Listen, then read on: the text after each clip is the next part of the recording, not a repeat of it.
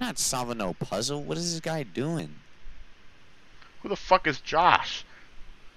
I don't know. He's probably some YouTuber or some shit. What the What the fuck, fuck? is that?